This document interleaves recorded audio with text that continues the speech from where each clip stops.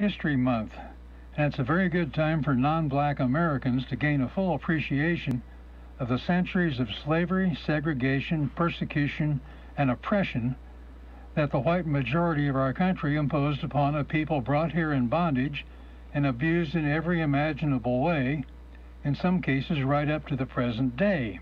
Most older Americans are generally aware of the horrors of slavery, but tend to believe that all that ended in 1865 when the North won the Civil War and the Republicans enacted the 13th, 14th, and 15th Amendments. What followed was a decade of Reconstruction when freed blacks in the South enjoyed some civil rights and elected black Republicans to Congress from the defeated South. But in 1877, Northern control of the Southern states essentially ended, and angry white Southerners quickly ushered in the era of Jim Crow racist oppression that didn't fade away until the Civil Rights Acts of the 1960s. To understand this shameful story, get hold of a copy of a new book by Henry Louis Gates, Jr., titled Stony the Road Reconstruction, White Supremacy, and the Rise of Jim Crow. It's a documented, illustrated, and well written story of the dark years after the end of slavery when black Americans struggled to gain the equal rights guaranteed to all Americans. In my lifetime, America has made enormous strides forward, and we need to keep on until this task is finished. This is John McClaughry. Thanks for listening. WDEV also serves the Northeast Kingdom at 101.9 W270BR Island Pond. Early on, WDEV owner Lloyd Squier set the mission. No business or service exists entirely within itself.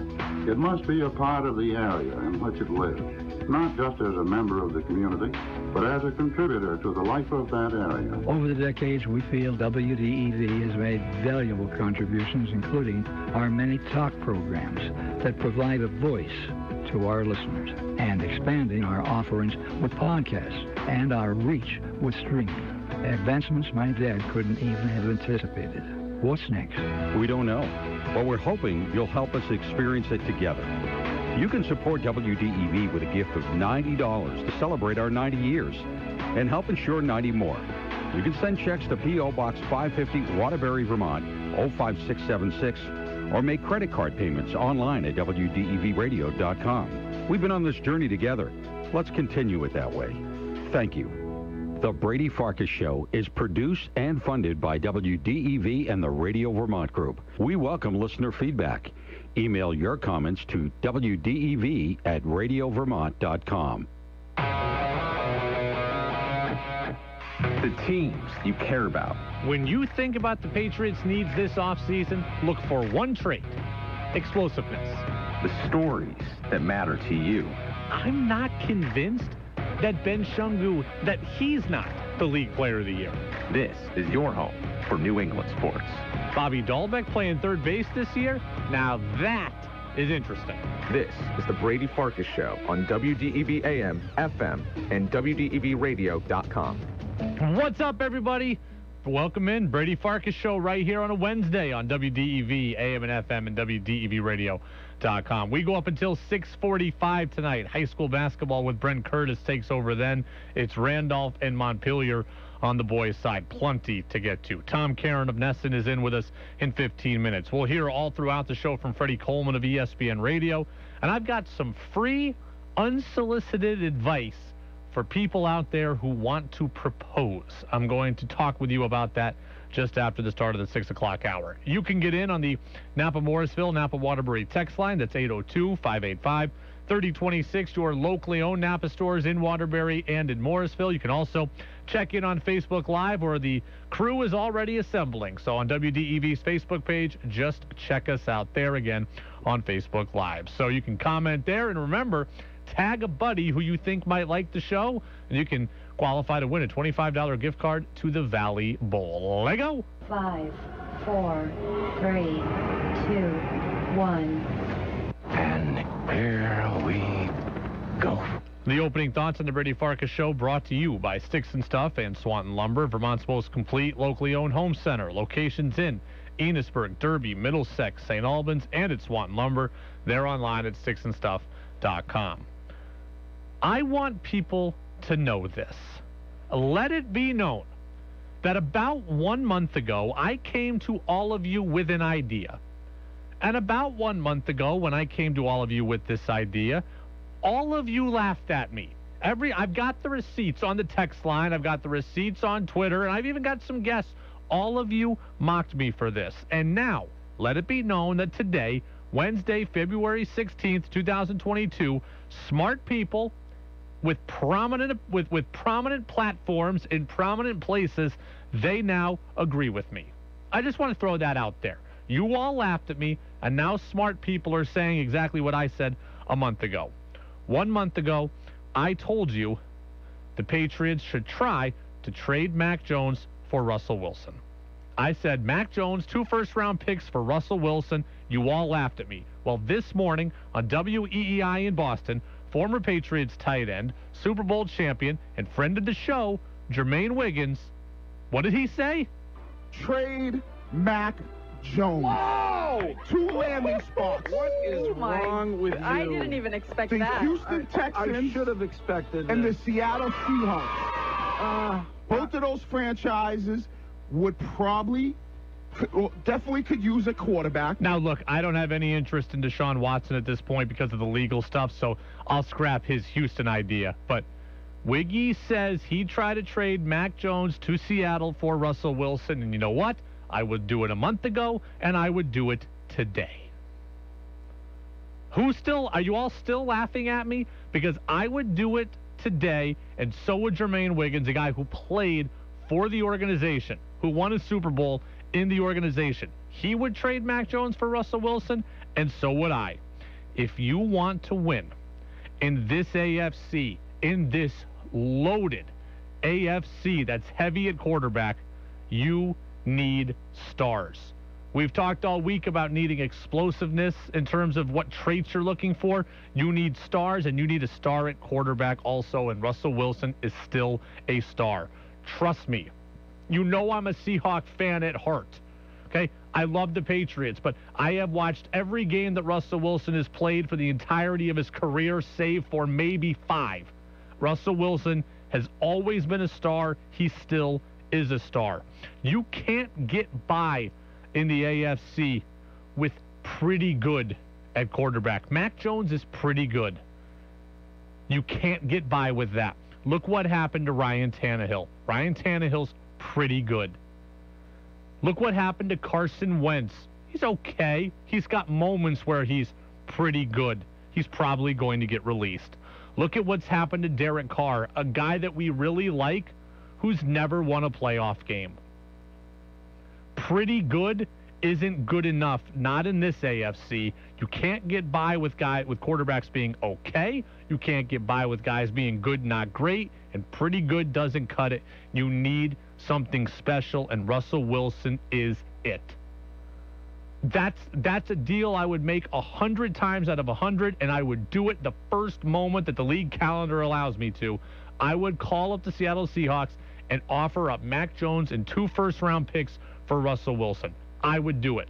Wiggy wants Russell Wilson too.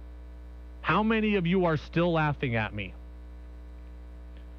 My question to all of you is this Why wouldn't you make the deal? What are you all afraid of? Are you afraid of Russell Wilson's age? Russell Wilson is 33 years old. Matthew Stafford just won a Super Bowl at 34. Well, 33 for most of the year, 34 now, and he'll play part of next year at 35. Aaron Rodgers just won back to back Super Bowls spanning 36 through 38 on the age spectrum.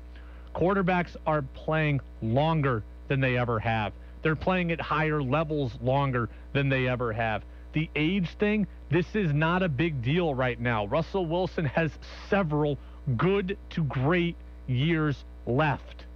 So don't be worried about his age. Are you worried about Russell Wilson's legs no longer being effective? He's plenty mobile. Russell Wilson is plenty mobile. I don't need him to run 14 times a game. Running is not a necessity for him in the way it's a necessity for a Lamar Jackson. It's just not. It's not a necessity for him in the way it is for somebody right now like Zach Wilson who's learning the position. I don't need Russell Wilson to run 80 times or for 80 yards a game. I need him to be mobile enough to extend plays. I need him to be mobile enough to pick up some key first downs. I need him to be mobile enough to generate some some rollouts and some bootleg stuff and some play action, all of which he can still do and can still do well. And by the way, Russell Wilson's been getting killed for the last five years in Seattle by that offensive line. Patriots' offensive line is better. Patriots have a good run game. Rhamondre Stevenson has three years left on his contract. Damien Harris has this year and another.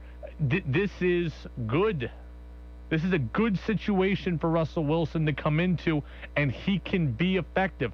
I don't know that I want to come into the AFC in general, but if the Patriots want him and he's willing, then I, or if, if he's willing to come here, I do it in a heartbeat. I would do it in a heartbeat. What are all of you afraid of? Are you afraid that Mac Jones is the next big star around the NFL? He's not. He's pretty good. He's the next Ryan Tannehill. He could get a number one seed every now and then. He can win a division every now and then, but he can't win consistently. That is, I promise you that that is going to be the Mac Jones thing. Pretty good, not a star. Justin Herbert's a star. Patrick Mahomes is a star. Josh Allen is a star. Joe Burrow is a star. That's four right there that are in front of you in the AFC, and they will be for a while. And maybe Aaron Rodgers gets traded to Denver, and he's ahead of you. And maybe Pittsburgh goes and gets somebody in the trade market, and they're ahead of you. And maybe Cleveland, who was pretty good last year, maybe they figure it out, and they're ahead of you because they have a much better roster than you do. If you want to compete, you need explosive athletes and you need star power, and Russell Wilson is that. And finally, here's the kicker to it also. If the Patriots want to get to the level of those other teams, they need a lot, don't they? We're all in agreement there. They need a lot. Multiple linebackers. They need another edge rusher. They need a defense. They need defensive back help. Devin McCourty right now is a free agent still. A vertical threat at wide receiver. Bring back some of that really good offensive line. There's a lot of things to do there. Do you trust that the Patriots can accomplish all of those things in the draft and all of those things with their free agent budget? It's going to be really hard. It's going to be really hard to do everything. There's going to be a hole somewhere. We've talked earlier this week about getting erasers, about getting guys that cover up deficiencies. Nobody in the NFL covers up deficiencies better than Russell Wilson. Take it firsthand from me. He's been covering up deficiencies for about the last six years. Ever since the great defense blew up for the Seahawks, Russell Wilson's been carrying that franchise. The Patriots can't get everything they need to get done done. Russell Wilson can help alleviate those problems.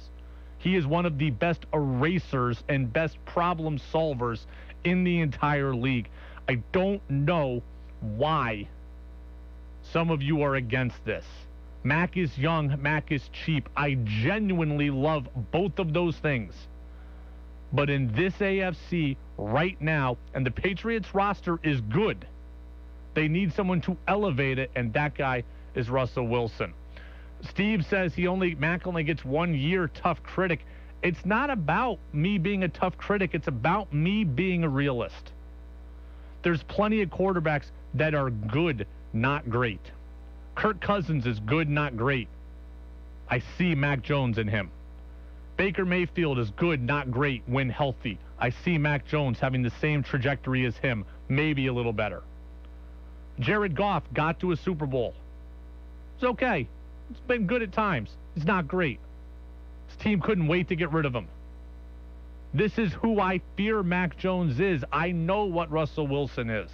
And he is a star, and he's a star who can carry you and elevate you. And if you want to play with the big boys again in the AFC, you need somebody like that. If you want to, if you're content to finish second to the Buffalo Bills, get a six or seven seed maybe, and then get whitewashed in the first round of the playoffs, if that's what you're content with, then Mac Jones is your guy. If you, I will stop doing this show today and talk about European soccer if you tell me that that is what you're content with. If you're content with Mac Jones and getting beaten and pummeled in the first round like happened this year, that that then there is nothing else to talk about. I'll stop talking Patriots for the next six months, and we'll come back in here in August and get ready for the preseason opener. I don't think that's what your goal is. Your goal is to get to the Super Bowl and win it, and Russell Wilson gives you a better chance at that in this AFC. If this were the NFC, then life might be different. Maybe the Philadelphia Eagles don't need to move on from Jalen Hurts.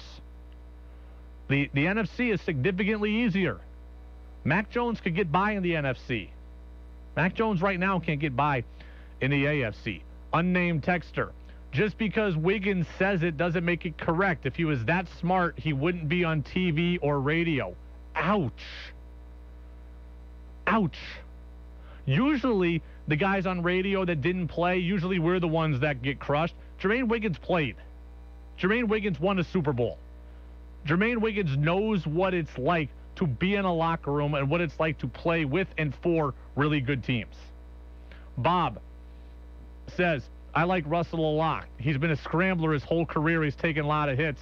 He's got a, a two year contract that'd be okay with it. Long term, he's not a solution. I believe Russ has two years left on his deal. If you, I mean, look, I think to trade two first round picks, you'd have to have Russ for a little bit longer than that, but you don't have to take him for nine years if you don't want to. You could get out of the Russell Wilson business earlier if you want. I trade two first round picks, 2022 and 2023. Russ plays for me 2022, 2023. I get my first round pick back in 2024, and I go draft another one if Russ sucks, like all of you think he does, apparently. I don't think so. Uh, bunch of people on the text on uh, on the message line here. Travis says, uh, "Pretty good only brings you so far." Ask Andy Dalton. Baker Mayfield being a franchise player brings you a championship. Sounds like he's okay with me wanting Russ. And Frank says, "Brady, don't stop. I'll miss you in the four o'clock news." Well, Frank, this is the uh, the sports show here. I like the four o'clock news, but this is where we're. You know, hey, I, I hope you'd miss me here too. You know what? I think you should trade for, for Russell Wilson. Wiggy thinks it. What does Tom Caron think? And then what the hell is going on with baseball? TC is going to join us next on DEV. Hey, country music fans, Lee Brice here inviting you to go on tour with me and my band. Play the Vermont Lottery's $5 Big Country Cash instant ticket, and you could win up to $20,000. And there's a second chance drawing to join me on the road. And we're talking concerts, backstage passes, and more. Basically, where I go, you go, all in the comfort of a luxury tour bus. For your chance to say, hey, I'm with the band, try the Big Country Cash instant ticket. I like your soul. Visit a Vermont Lottery retailer today. Please play responsibly. School vacation is coming. Looking for something fun to do with the kids?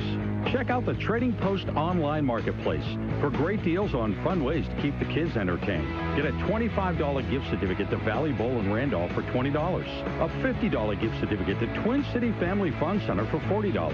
And a Modio Rec one-year family membership valued at over $500 is just 350. Find a full listing of these deals and more at WDEVradio.com. At Matt Clark's Northern Basement Systems, they specialize in all things basementy. Matt Clark's Northern Basement Systems is the leading basement waterproofing, crawl space, and moisture control and foundation repair contractor in Vermont and New Hampshire. Their state-of-the-art features will help get the water out of your basement and keep your basement dry now while preventing basement leaks and flooding far into the future. Let them weatherize your drafty crawl spaces and basements using spray foam insulation. Matt Clark's Northern Basement Systems. They specialize in all things basementy. At Northfield Savings Bank, we celebrate the ways you work and why you work. To build a business, to make a brighter future, to do something that matters. You don't do just one thing in your business, neither do we. Whatever your size, you have goals for yourself and those around you. Our commitment is helping you get there. Builders, makers, doers. Northfield Savings Bank. Find out more about us at nsbvt.com.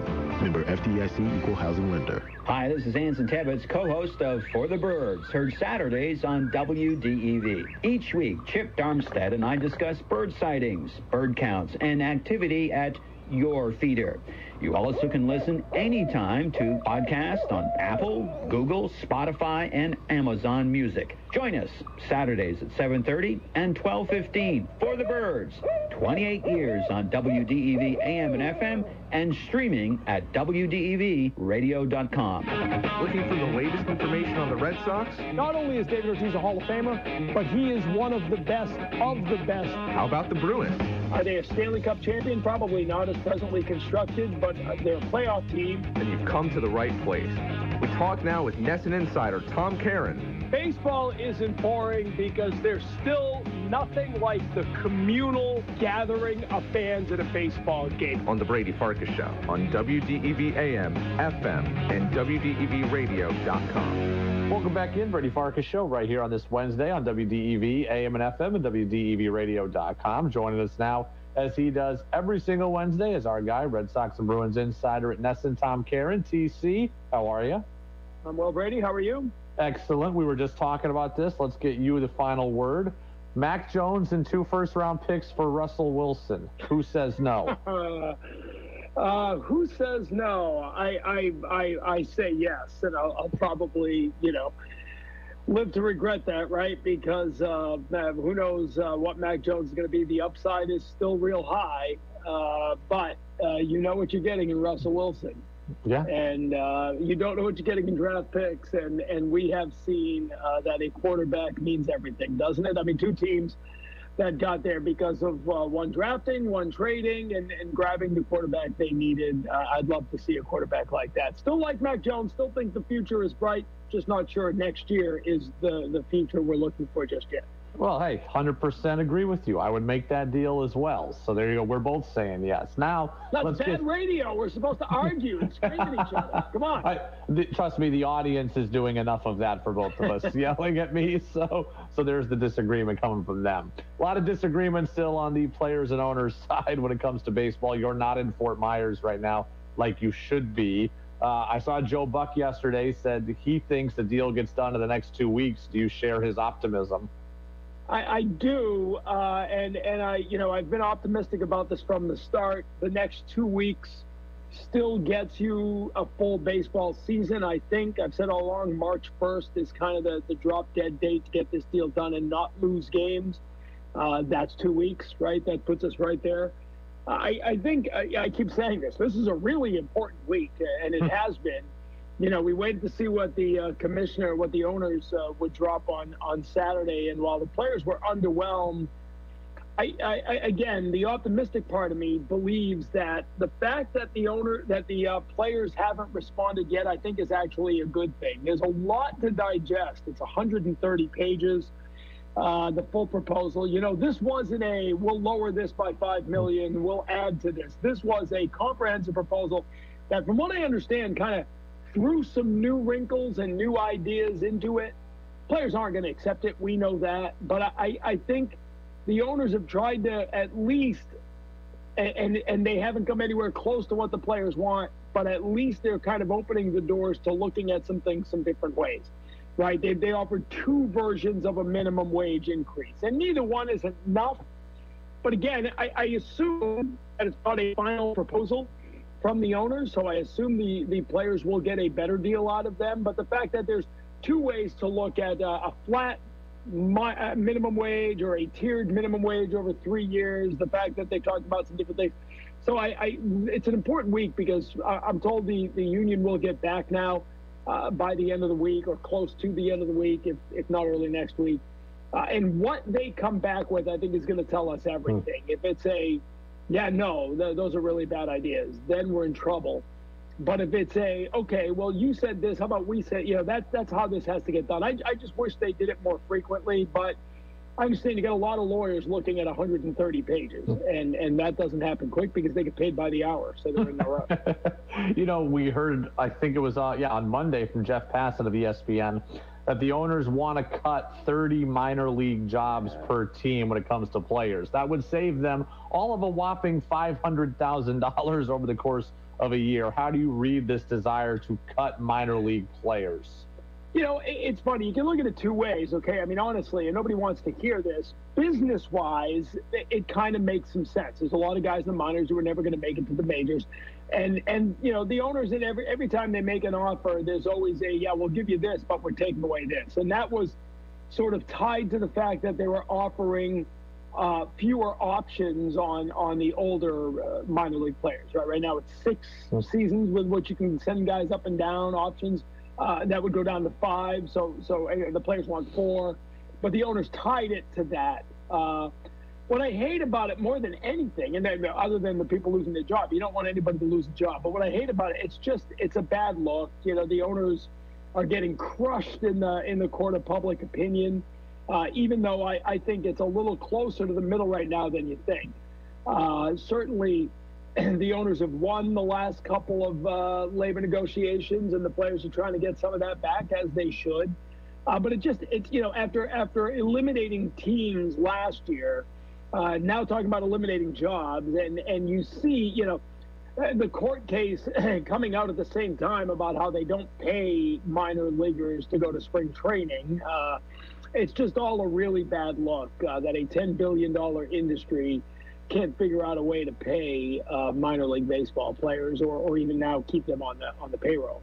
Tom Caron, Red Sox and Bruins insider at NESN with us here on the Brady Farkas show on WDEV. I, I am with you, I think, on this. It's a horrible look. I think it's bad because it will lead to elimination of more minor league teams in small towns where we want to grow the game. But I can't get on board with the people who are saying, oh, you want to take away my dream by cutting all these jobs. I'm like, look at the the NHL has less minor leaguers, the NBA has almost no minor leaguers, and the NFL has like eight practice squad guys. Like baseball is already lapping the field when it comes to giving guys opportunities. Yeah, and, it, and you know historically, I mean you've you've had what you generally have three single A teams prior to the original the cutbacks last year. You had three minor league teams and and maybe a, a Caribbean Academy uh, filtering into one double A team. So that tells you right there uh, how few of those low level minor leaguers ever get close to the mm-hmm. majors, mm-hmm. let alone play for a major league team. Uh, it, yeah, I, you know, it's, I love the, uh, I, I love minor league baseball, right? I mean, my first job was covering the, the Vermont Reds when they played at Centennial in double A. Uh, I, I love the Eastern League. I covered triple A in Portland and double A in Portland when the Sea Dogs came in after the, the Maine Guides. I, I love minor league baseball and what it means to those towns and what it means to baseball. Uh, and and maybe you know what they did last year actually isn't a bad way. Some of the if you're going to cut out some of these minor leaguers, there'll be better independent leagues uh, where where those guys try to keep their dreams going, getting paid uh, to play baseball, and and maybe then signing a, an affiliated contract. But yeah, I mean, I don't, I don't, I don't know that they're gutting out the dreams of American baseball players. I, I do know they're gutting out the, the dreams of, of small towns to have uh, affiliation with major league teams. Let's go to the Bruins. Tuukka Rask retired last week, right after we talked. Uh, is he the greatest goaltender in Bruins history? Yes. Yes, he is, and and he's the most polarizing goalie yes. in history, which I, have never really figured out. I'm a Tuukka guy. Uh, I, I I know he never won a cup as a starter, and he never, uh, well, he didn't never, but uh, he certainly missed a few important games over the course of his career. But the numbers speak for themselves. Uh, when healthy, he was as good as it got. He backstopped uh, a, run of, uh, if not championship success, certainly sustained success. Uh, it is, you know, digging into it a little bit, it is amazing that there is not a goalie's number retired by the Bruins. Hmm. And I don't know that I, I didn't real I always assumed Jerry Cheevers, who's a Hall of Famer, had had his number retired, and he didn't. Um, so does Tuukka Rask become the first goalie in Bruins history to have his number retired? I, I think if you're going to do that, you probably have to retire Cheevers too. Uh, maybe you do the two of them. You have goalie night. you have the two of them at the same time. Maybe Tiny Thompson uh, from way back uh, so I, you know, I, you know, is he the best? Yeah, I think he is because of the longevity and because of the numbers and, and because of the sustained success. You know, had Cheevers, Cheevers was was amazing, and you know, had, uh, had he done a little bit longer, he'd have numbers like Tuukka. But I think yes, Tuukka is the greatest in Bruins history. How about a couple of former Bruins last night skating around in a very good Team USA and Slovakia matchup on the ice in Beijing? Steven Kampfer, long time, you know, Bruin who won a, a cup back uh, you know, in the uh, early 2010s, well, 2010, 2011. And then I'm a little less enthused about Peter Cehlarik scoring the game-winning goal for Slovakia to knock the Americans out. But a couple of former Bees making an imprint last night. Yeah, a really, really disappointing end for Team USA. You know, after they beat Canada, we were all thinking this team might actually have the stuff. Uh, youngest team, uh, most unlikely U.S. team to try to win a medal. Thought they'd at least uh, be in a medal game. I, maybe they thought that too. Maybe that was part of the problem against Slovakia. They had a, a long five on three in the third period that they couldn't do anything with. Uh, and, and so, yeah, disappointing. I don't know if you saw it on Twitter. Uh, Miro Shatan, uh, coaching a, uh, a youth team in, in Slovakia. Well, he wasn't coaching, but he was showing video of a friend coaching. He's the GM, I think, of the Slovakia, uh, the Slovak team. And uh, the, the, kids were going nuts in Slovakia. So, yeah. Uh, you see what it meant to them. Uh, but again, David Quinn, uh, who I knew pretty well when he coached BU before going to the Rangers, I really thought he had assembled a, a good group here of, of the young guys who would try to do something. So disappointing for sure. By the way, how was your bean pot experience? I know you spent Valentine's Day doing the bean pot. Doesn't everybody want to spend Bill, uh, Valentine's Day with Billy Jaffe? Uh, I, it, uh, no is the answer. Uh, it was great, great game. Uh, always seems to come down to one goal, and it did a one nothing game. Goal with two minutes forty six seconds left uh, from a fourth line. The fourth line of BU get it done, which I love.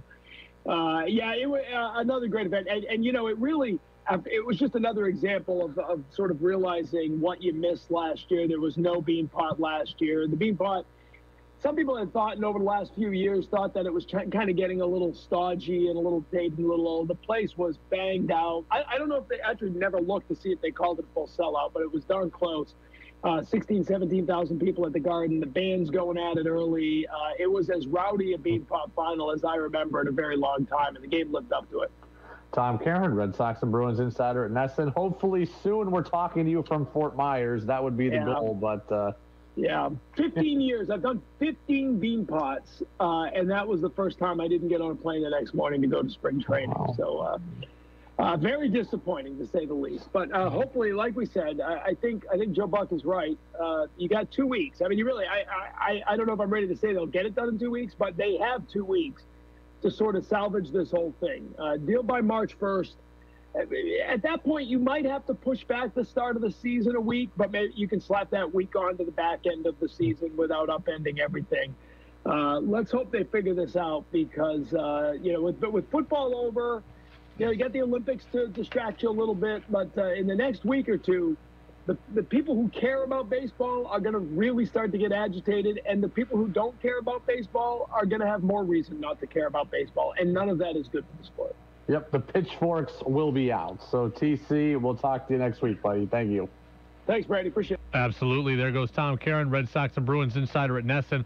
Let the record show TC also agrees with me and Wiggy. He'd trade for Russell Wilson, too. But let's just assume the Patriots stick with Mac Jones. If they're going to stick with him, please don't fall into this trap that some of you are falling into. I'll tell you what that is next. 96.1 WDEV FM Warren, 96.5 W243 AT Barre, 98.3 W252 CU Montpelier, AM 550 WDEV Waterbury. Is CBS News on the hour, sponsored by Dell Small Business.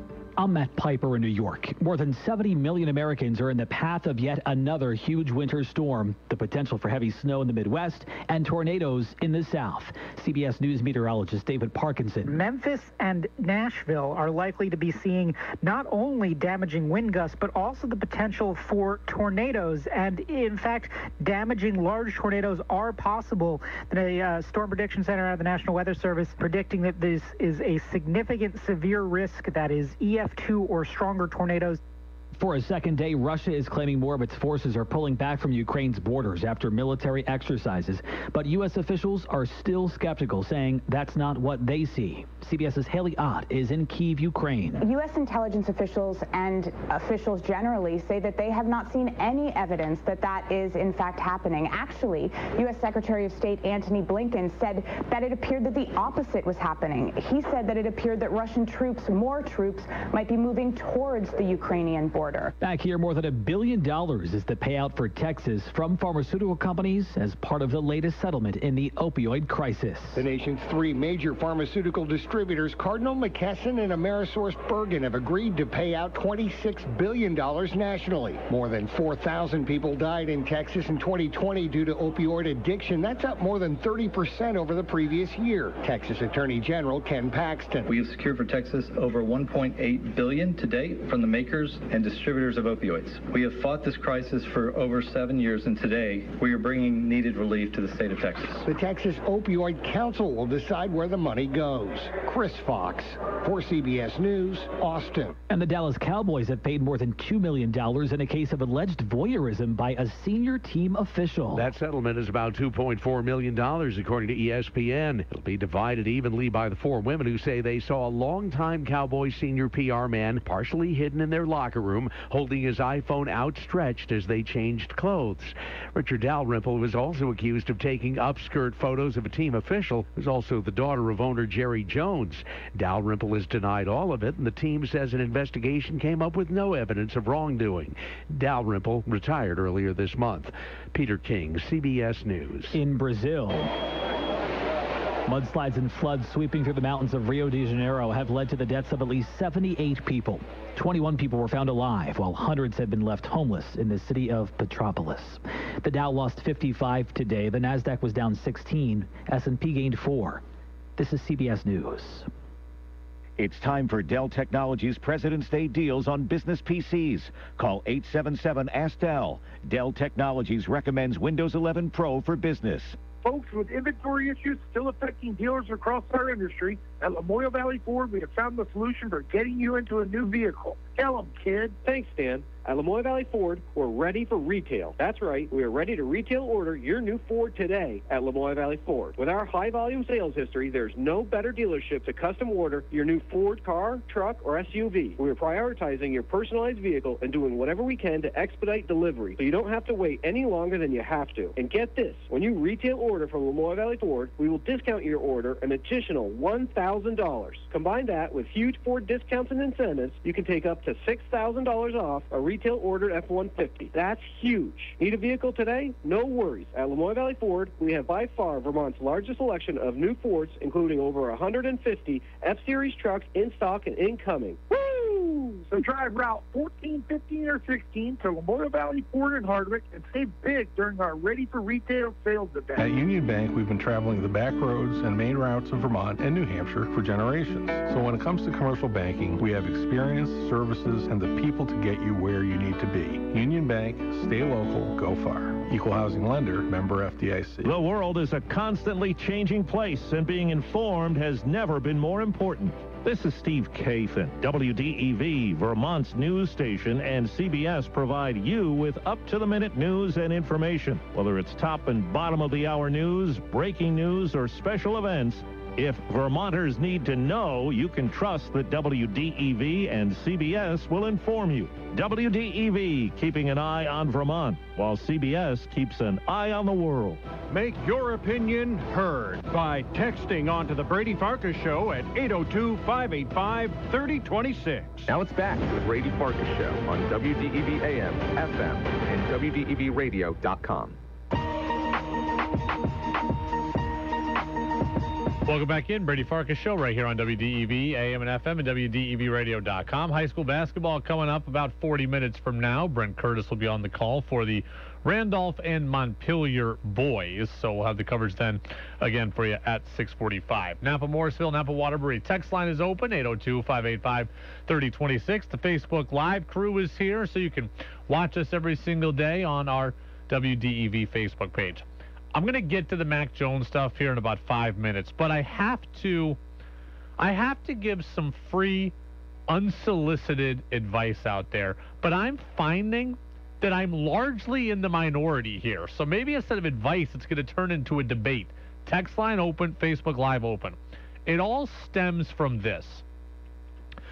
Olympic champion gymnast Simone Biles got engaged on Valentine's Day. So I saw the headline everywhere. Pop culture sites. She even might have put it out herself on social media. Her boyfriend, you know, now fiance, plays in the NFL for the Houston Texans. His name is Jonathan Owens. So he proposed to her on Valentine's Day.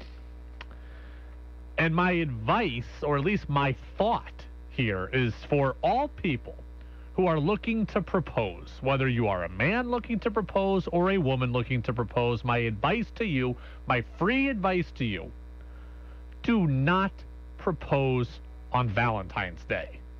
Seriously. I am very happy for Jonathan Owens and Simone Biles. I'm happy for anybody who finds love. Love is hard. Love takes a long time. Love takes a lot of work. And it's a great accomplishment to get engaged and subsequently get married.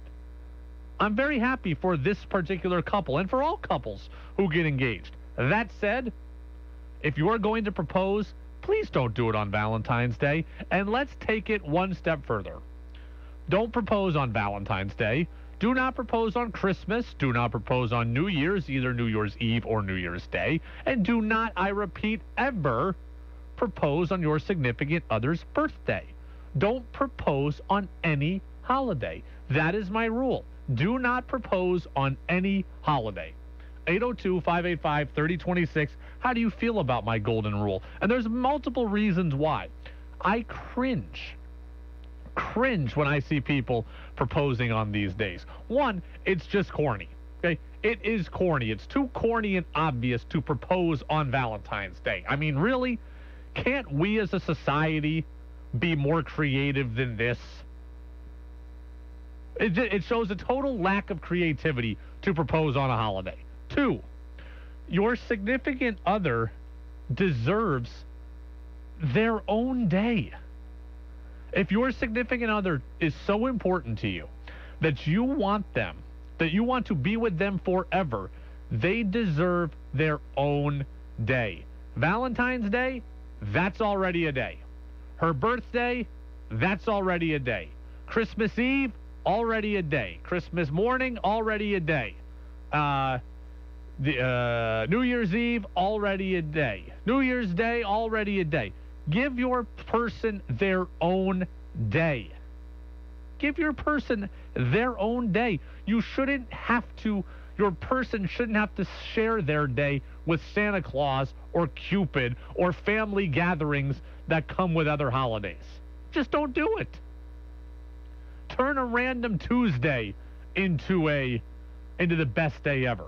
Turn a random Friday into the best day ever. Bob wants to know what day I proposed. Friday, March 5th, last year. Okay? It was a Friday. It was meaningful to it was it's meaningful for us now. It had no meaning to us prior. I did not propose on Valentine's Day, and I didn't want to propose on Valentine's Day. Friday, March 5th of last year. Steve says agreed 100%. Marion Randolph says totally agree. I loved my proposal. Absolutely unexpected with a lifetime of joy to follow. There you go. And that's coming from a woman's perspective, somebody who was proposed to. Those days, they're already days. They already have meaning in our lives and in your significant other's lives.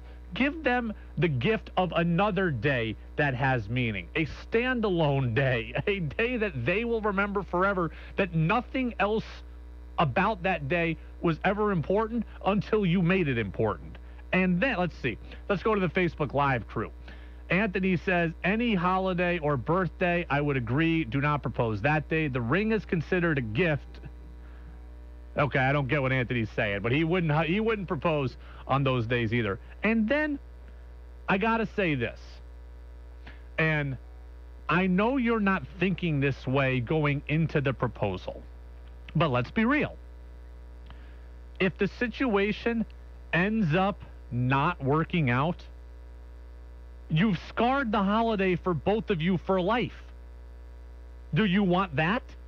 Again, when you propose, I'm well aware you're planning for it to work. I'm planning for my marriage to work as well. So, but if it doesn't work and you've proposed on Christmas, congratulations, you have just made Christmas a bad memory for each of you for the rest of your lives. Is that something that you want? Hey, New Year's Day, it's the anniversary of the day I proposed and then we broke up eventually. That's not so fun. I'm not interested in that. And I don't think she or he would be interested in that either.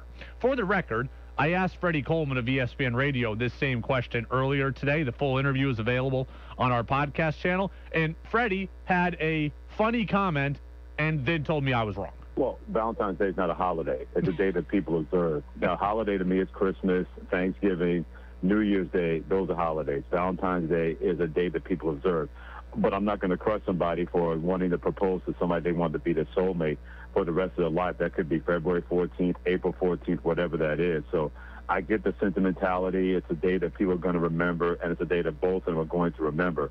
But let's not confuse things. Brady's not a holiday. It's a day of observance, and let's not go any further than that. So Freddie says Valentine's Day is not a holiday; it's a day of observance. But he also doesn't care when you propose. I had somebody on Twitter yesterday like telling me to rank the things that I hate because they've gotten tired of me complaining. I've been doing radio for eight years. And this person couldn't come up with 10 things that I rail against. So I clearly don't complain all that much. There are a few things I'm very, very strongly opinionated about, though. This is one do not propose on holidays. Teams should not wear jerseys of cities that they stole jerseys from. Like, I'm not interested in the Hartford Whalers jerseys being worn by the Carolina Hurricanes. I'm very, very, uh, I'm very, very uh, against that. I'm against gambling guy and fantasy guy coming up to me at a bar. But beyond that, I don't think I have that many things that I rail against, like, continuously. This is one of them. I could probably do this same segment every single year. Do not propose on Valentine's Day or on uh, any other holiday. Shannon says, I agree 1,000%. Can we also include proposing at other people's weddings as a no no? Yes! Proposing at other people's weddings, that is worse than proposing on other holidays. Like, imagine that. Jess and I are going to get married, right? And we invite this crew of people, and my my boy busts out the ring and asks his significant other, like, dude, you couldn't have waited 24 hours.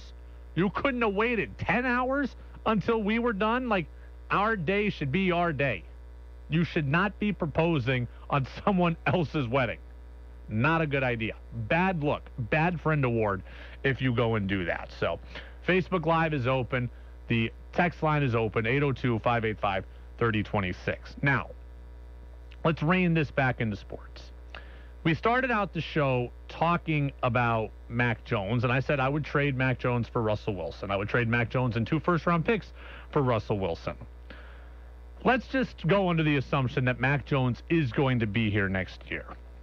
If Mac Jones is going to be here next year, please, as a fan, do not fall into the trap of just assume of just assuming that Mac Jones intangibles are enough. Do not fall into the trap of just assuming that those are enough to get you by. Mark Dondero is a radio host at WEEI in Providence. And I heard him say this yesterday, and it just made me cringe. Then you factor in what we saw in the Pro Bowl. And I don't want to make a huge deal of this, but I'm just saying the guy is, he's got swagger, okay?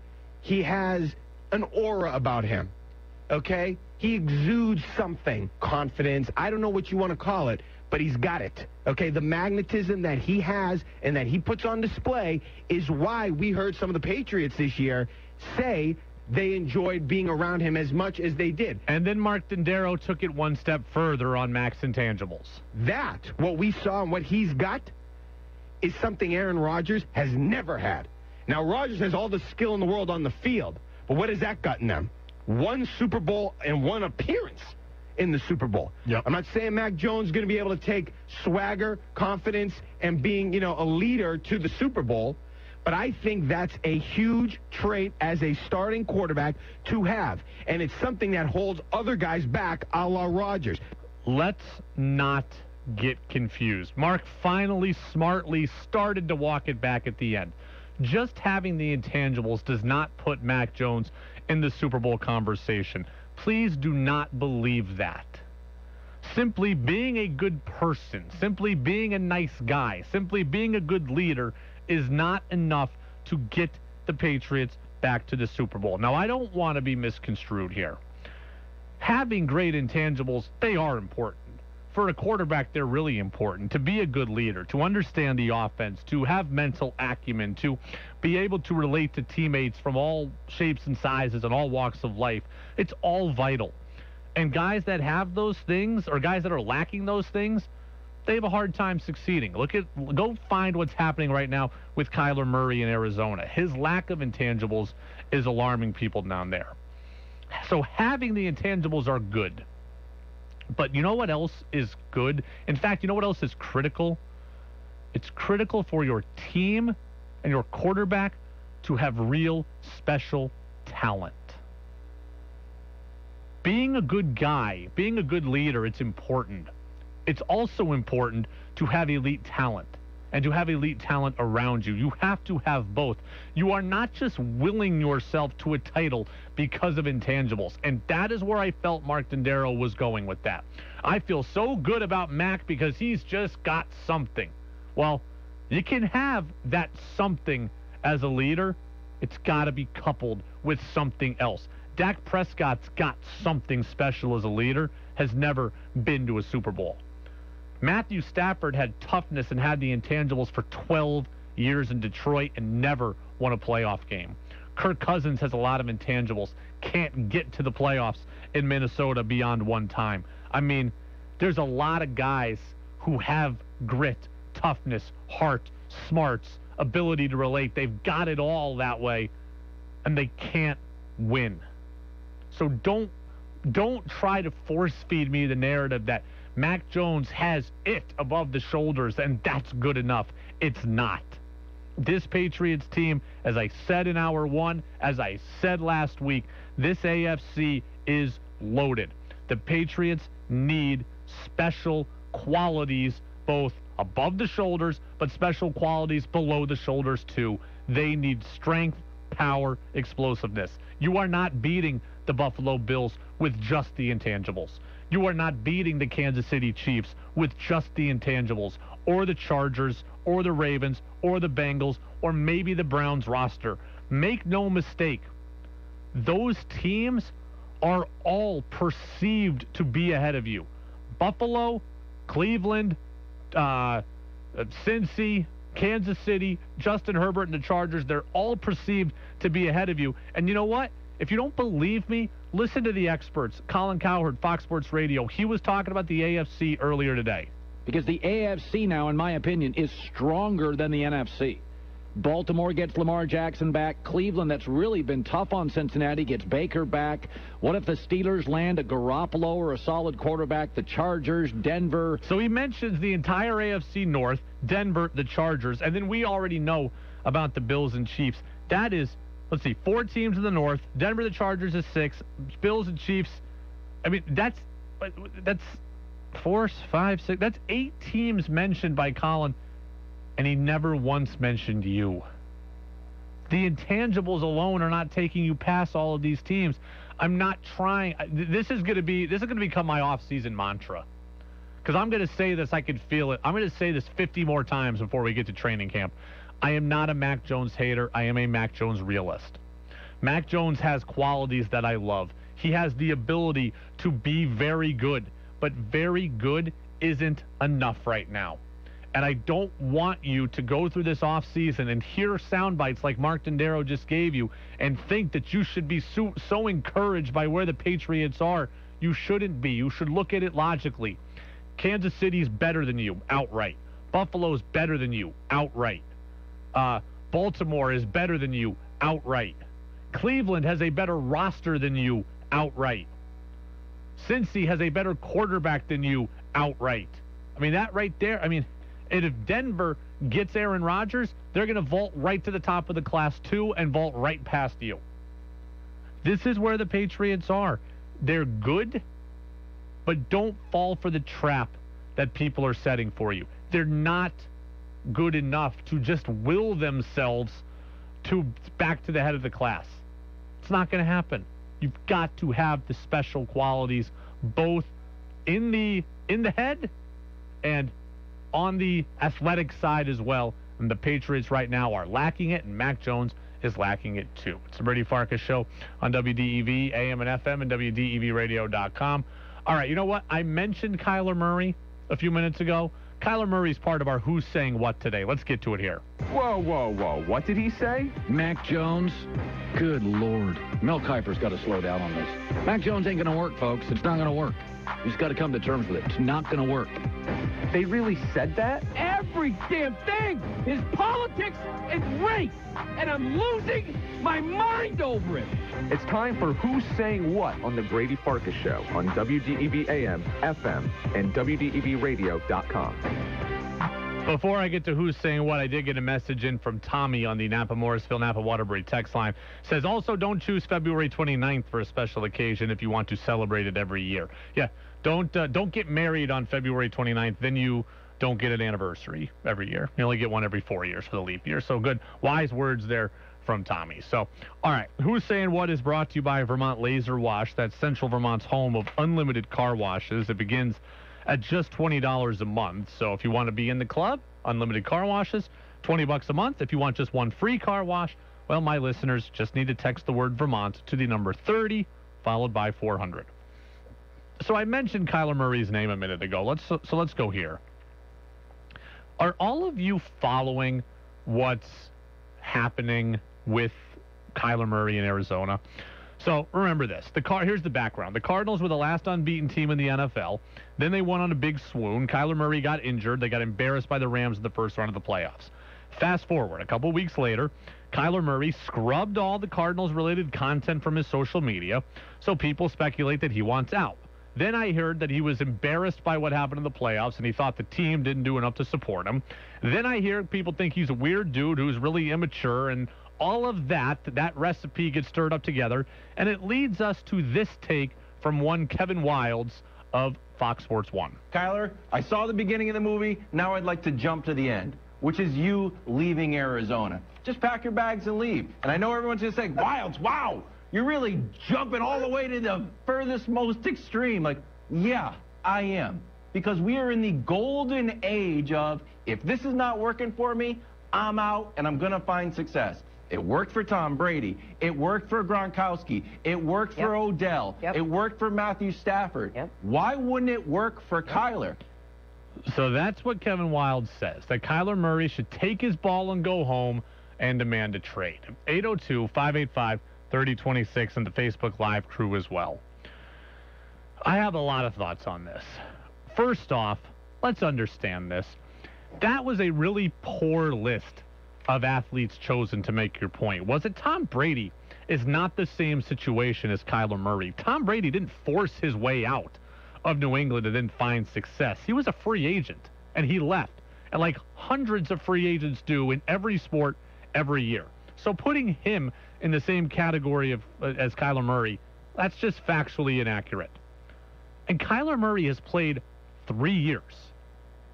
3 years. He's not the same as Matthew Stafford. Matthew Stafford spent tw- 12 years in Detroit. He spent 12 years in one spot, was a good soldier, had just four winning records. Matthew Stafford gutted it out, played hurt, never said anything, and then behind closed doors asked nightly asked nicely to get out at age 33. He's not the same as Kyler Murray.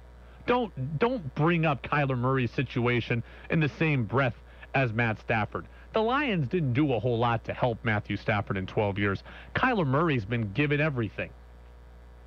They got rid of their previous first round quarterback in Josh Rosen for Kyler Murray. They got rid of their head coach and brought in the guy who recruited Kyler Murray in college, and that's Cliff Kingsbury.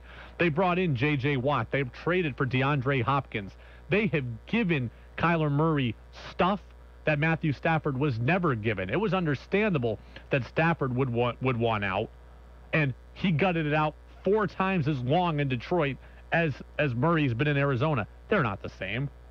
And then finally, wait, can we play, guys? Maybe like the very end of that quote. worked for Odell. It worked for Matthew Stafford. Why wouldn't it work for Kyler?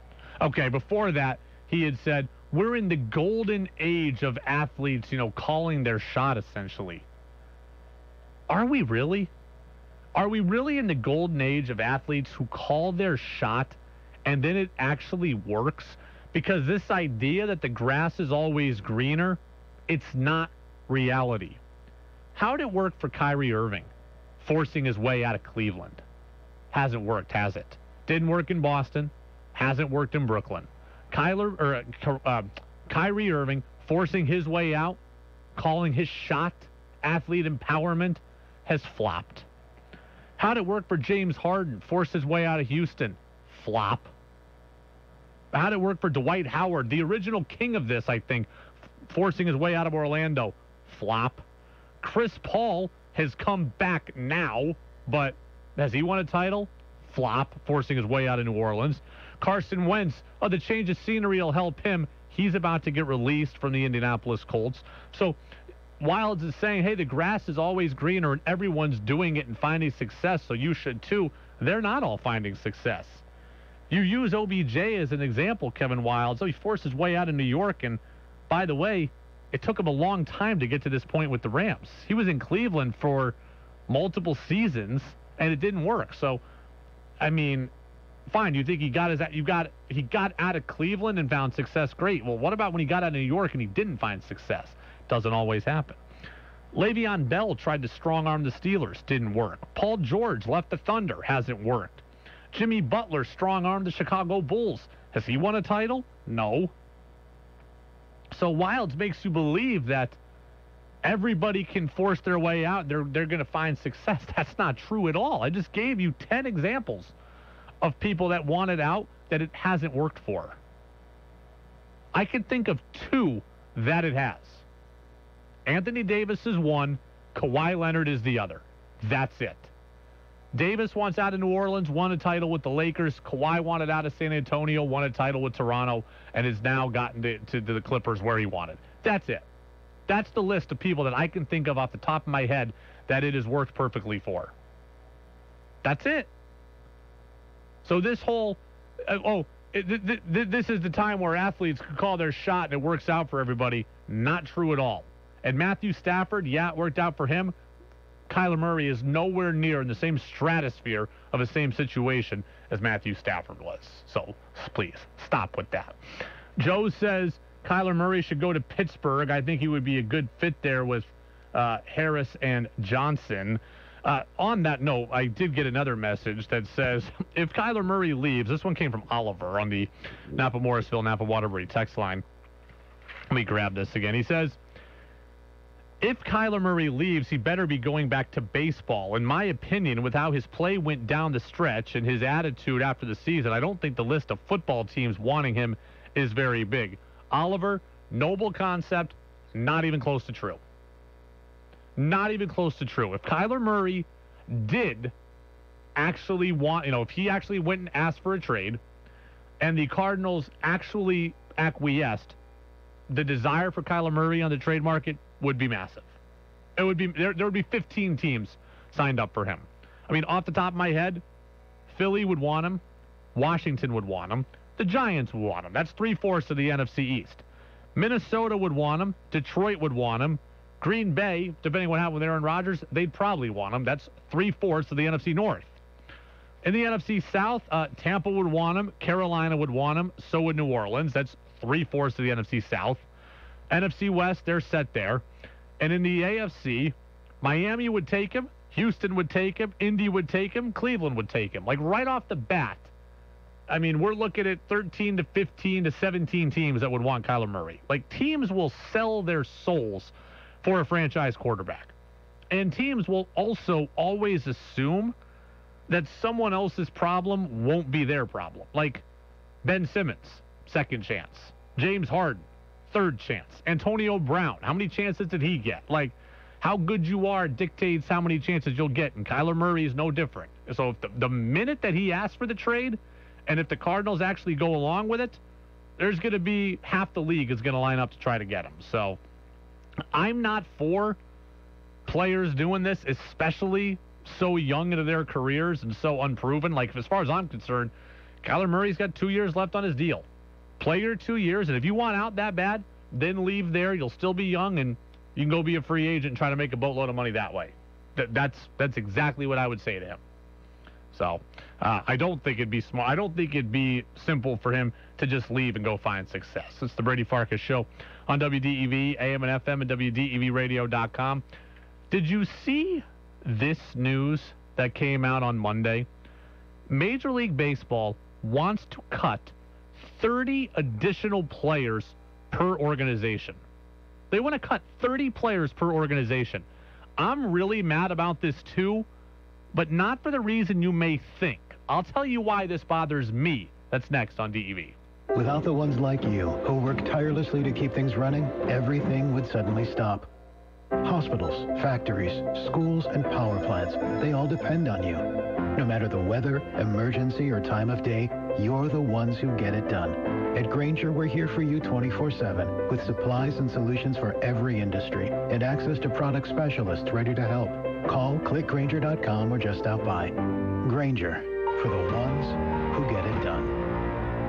Exergen would like you to know about an important study just released by the FDA. It confirms what the medical community has known all along. Non-contact thermometers are not accurate. The study also reports that they fail to meet FDA requirements for accuracy in labeling. We can't afford to tolerate the rampant false temperature readings from non-contact thermometers. Accurate temperature measurements are essential. You need Exergen thermometers because they are accurate and backed by over 100 clinical studies. Be sure, be accurate with Exergen. Learn more at Exergen.com. The push it, pull it, or tow it sale is back at Lamoille Valley Chevy. We would like to thank all our customers and our entire team for helping Lamoille Valley Chevy become the number one volume Chevy truck dealer in Vermont for the second year in a row. Due to the success of the countdown to 4,000, our lot is now overstocked with more one-owner, low-mileage, late-model cars, trucks, and SUVs than I can remember, that I've instructed my entire team we need to sell them down. Here's how the push it, pull it, or tow it sale works. Through the end of February, anyone can push, pull, or tow any single trade to Lamoille Valley Chevy and get a $3,000 minimum trade allowance toward any in-stock pre-owned car, truck, or SUV on our lot. Don't worry. If your trade is worth more, you're going to get it. And folks, at Lamoille Valley Chevy, we have a huge selection of certified pre-owned cars, trucks, and SUVs that come with a better-than-new 100,000-mile warranty, and you can get a guaranteed minimum trade allowance of $3,000 on these vehicles, too. So get to the push it, pull it, or tow it sale happening right now at Lamoille Valley Chevy. And remember, at Lamoille Valley Chevy, we know price matters. WDEV at 90 is underwritten by Northfield Savings Bank. They're the bank of you and everything you do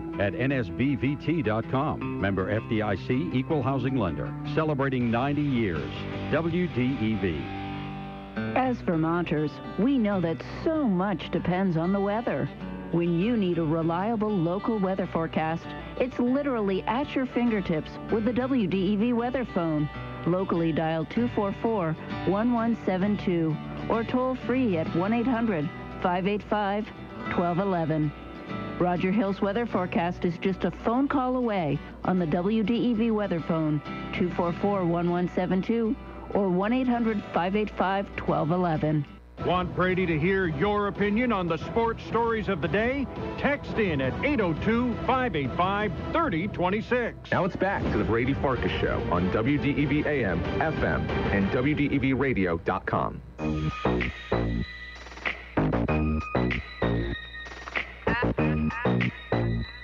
Welcome back, Brady Farkas Show. On WDEV, AM and FM, and WDEVradio.com. Show brought to you in part by Pro Driver Training. That's Pro Driver Training, Vermont's premier truck driver training school online at ProDriverCDL.com. They're out in Enosburg and in Milton with their facilities, and again, ProDriverCDL.com. High school basketball comes up about 10 minutes from now. It's Randolph and Montpelier on the boys' side. Brent Curtis sitting courtside waiting for the call. Did you see this story? Jeff Passan of ESPN reported on Monday. Major League Baseball, the owners, they want to cut the amount of players allowed in a team system in their organization from 180 players total to 150 players total. So they want to eliminate 30 player jobs per organization.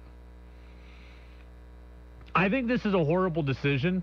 I think this is a horrible desire, rather. It's not a decision yet. It's part of, a, you know, I think it's part of the negotiations going back and forth. It's a horrible thing for Major League Baseball to want to do this, but it's not horrible for the reason that everybody thinks. I read a lot of commentary on social media over the last couple of days where guys were saying, "Oh my God, if you cut if you cut 30 players, then you're taking away my dream.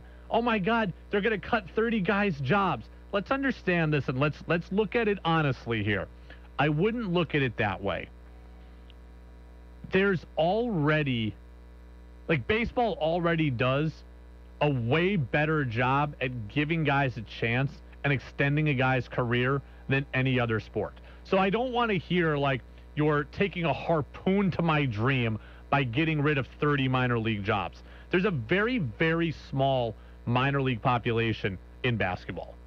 There's a pretty small minor league population in hockey. There's an extremely small practice squad in football. So if baseball had 120 uh, had a 150 players in the system, so let's 25 on the active roster and 125 more hanging around, that would be light years ahead of what the other sports are doing. So their baseball still, no matter what, will by far be the best at giving guys chances. So I don't want to hear that. But regardless, so put that in one box.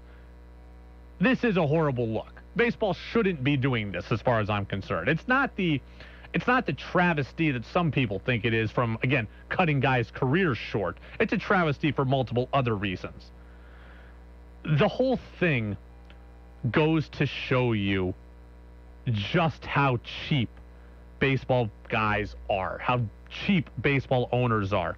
And this should perfectly encapsulate to you why, in this battle of owners versus players, you should be siding with the players. The owners are cheap. This isn't a battle of billionaires versus millionaires. This is billionaires trying to cut callously every expense they possibly can. Listen to this. Cutting the Vermont Lake Monsters last year, cutting 42 teams out of minor league baseball, it saved major league owners $1 million. Your Vermont Lake Monsters were cut to save $1 million. The owners are cheap as hell, and you should be siding with the players. And now this proves it even further because you know what? 30 minor league players. If your organization cuts 30 minor league players, you know how much money that saves? $500,000 a year. $500,000 a year is less than the major league minimum. It is less than one, you know, one long reliever that's a rookie. 30 jobs are going to be cut because the owners want to save $500,000. The owners are cheap as hell, and you should be siding with the players. I'm not so much mad that 30 guys that probably were never going to make the major leagues anyways don't get a chance to keep playing. I'm not as mad about that. I'm more mad that that, that, that the owners are trying to paint themselves as right in these situations and are trying to paint the players out to be greedy when evidently, oh, they are not.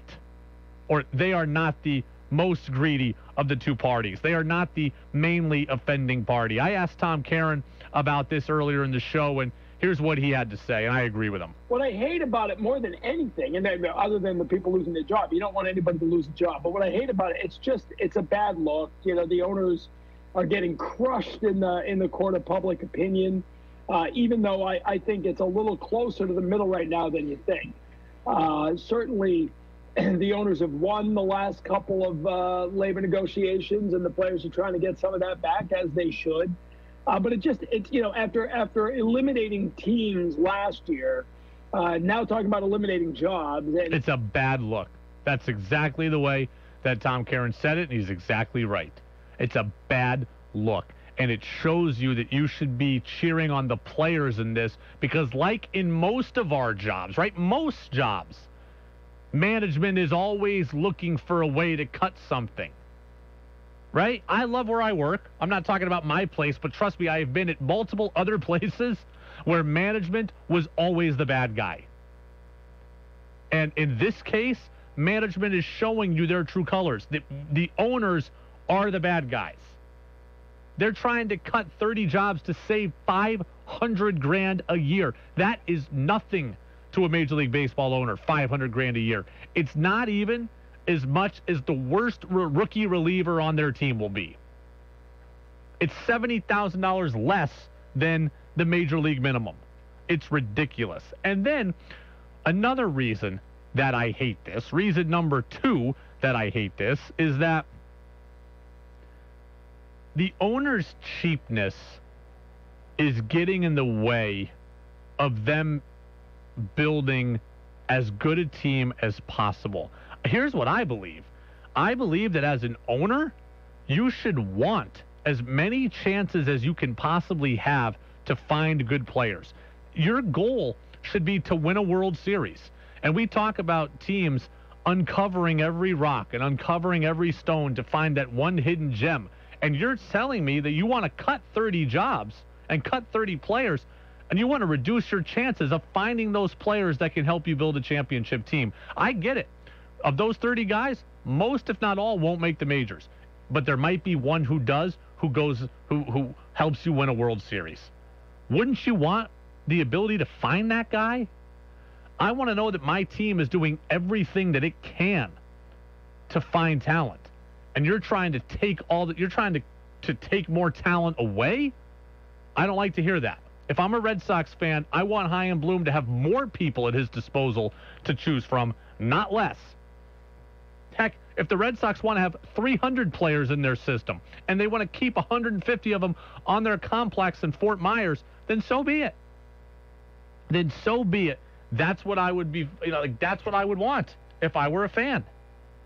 I want to know that my team is working to find talent, not actively looking to get rid of it. So I, I think this is a terrible idea.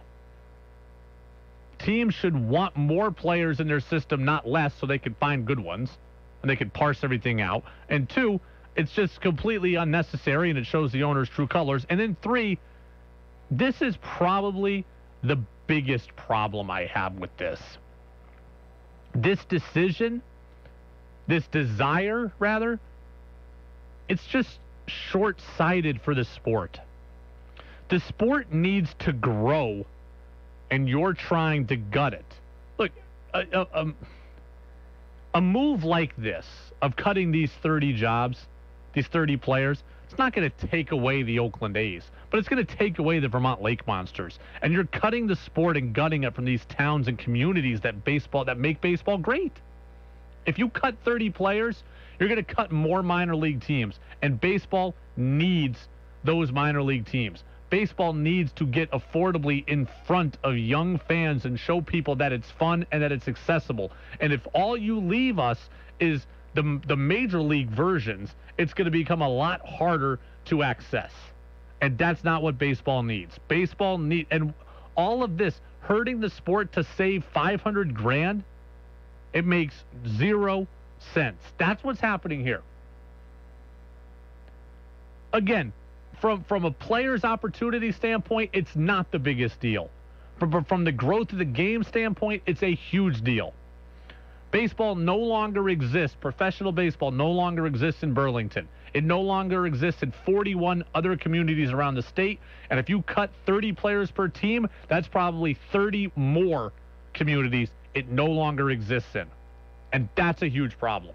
I can't believe that the owners would be so hell bent on saving 500 grand that they'd want to hurt the sport and hurt its growth. Because if it hurt, if if its growth gets hurt, then guess what the owners don't do? They don't make all the money that they want. Because if the sport goes and loses popularity, then the owners don't bring in the revenue that they so much desire. Huge problem, huge mistake, and I completely disagree with it. Buster Olney of ESPN is going to stop by with us tomorrow. We'll ask him about this. We do know on the good news front that the owners and players are going to meet tomorrow. It's going to be at 1 o'clock. Hopefully, it lasts longer than 20 minutes and ends in a firm, you know, doesn't end in a firm no. Let's hope there's real conversation and real negotiation, and let's hope that we can get as you know closer and closer to a real and meaningful season. That's what we're looking for. They're going to meet tomorrow at 1. We will talk about it with Buster, and we will see what happens. It's the Brady Farkas Show on WDEV, AM and FM, and WDEVradio.com. All right, as for a couple of things here before we wrap up. UVM women's basketball currently on the floor right now at Patrick Gym taking on UNH. The score after one was UVM 15 to 14 over UNH. The men's team takes the floor in 15 minutes on the road in Durham. Again, the uh, Wildcats are seven and six in the league. UVM is 12 and one. We'll have a lot more on UVM coming up tomorrow. We'll talk with Buster, and uh, I'm sure some more people are going to want to yell at me about things I said about Mac Jones and Russell Wilson, etc. So I'll I'll review your texts overnight and we'll we'll put them in the show tomorrow as well. High school hoops is coming up next. It is our Northfield Savings Bank high school basketball coverage brought to you by the Vermont Traveler Service Center. It's the Randolph boys and the Montpelier boys. Brent Curtis is on the call. Don't forget 11:10 tonight on NBC5. USA Canada women's hockey gold medal game. USA won it in 2018. Can they repeat? I'll be watching. I hope a lot of you do as well. We'll see you tomorrow, everybody. Go download the podcast. Don't forget Apple Podcasts and Spotify. Always Brady Farkas Show available there. Hi, this is Dave Catarino, and I'm a hospice and palliative registered nurse at Central Vermont Home Health and Hospice. I'm also a longtime resident of the Mad River Valley and an avid skier. I am thrilled to share that Central Vermont Home Health and Hospice is hosting the 34th annual Chez Henri Cup on Saturday, March 5th at Sugarbush Resort. An entry fee of $40 gets you access to our time ski race plus one raffle ticket. Additional raffle tickets are $40 for one, three for $100, and five for $150. We'd like to thank our many local businesses for donating some great prizes to our raffle and to Lawson's Finest Liquids for being our event sponsor. Register to race and to buy raffle tickets online at www.cvhhh.org. We thank you for your support and we look forward to seeing you on the slopes on Saturday, March 5th. Help our bird friends this winter with a trip to Guys